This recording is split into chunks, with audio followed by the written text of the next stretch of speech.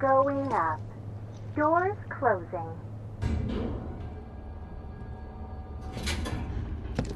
So what can we expect further up? Hmm. More security and restrictions. It's not gonna get any easier. Tenth floor. Doors opening. Intruders!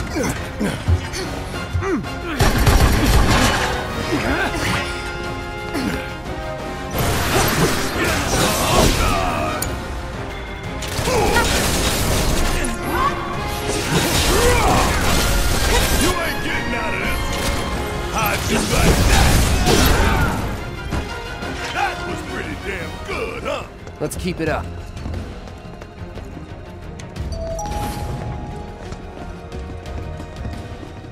Wasn't expecting that. Think anyone knows we're here? Nah, we took him down quick. Going up. Doors closing. Wonder if it'll stop again. People ought to try using the damn stairs sometime. If it happens again, we'll deal with it like before. We got this. Well, that didn't take long, did it? Twentieth floor. Doors open.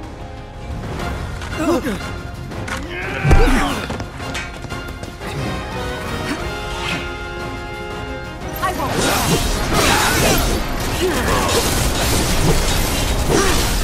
Going in.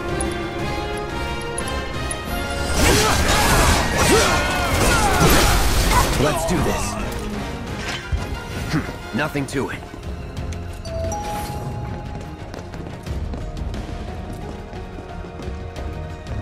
Going up. Doors closing. Straight on up to the top now. Come on. We just keep getting waylaid, don't we? If you want to take the stairs, Now that you mention it, no. Thirtieth floor. Doors opening. Heads up. Could be trouble.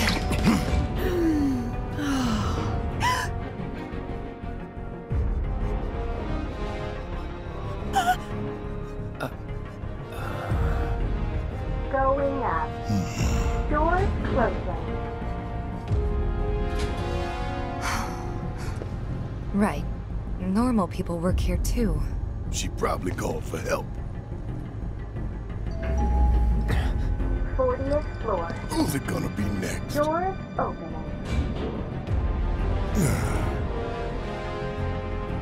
Yeah. Yeah, we're safe here. What about you, Mom? You okay? Good. That's a relief. What?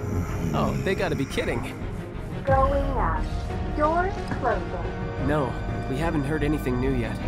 But they told us that Avalanche could attack again at any time. Just get somewhere safe, Going okay? up. Yeah, Doors about that.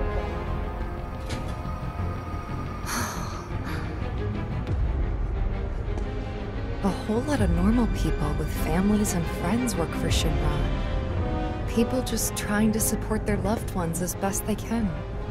I know it's not exactly a revelation, but it's easy to forget.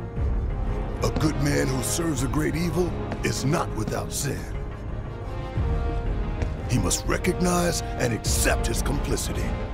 He must open his eyes to the truth that his corporate masters are profiting from the planet's pain.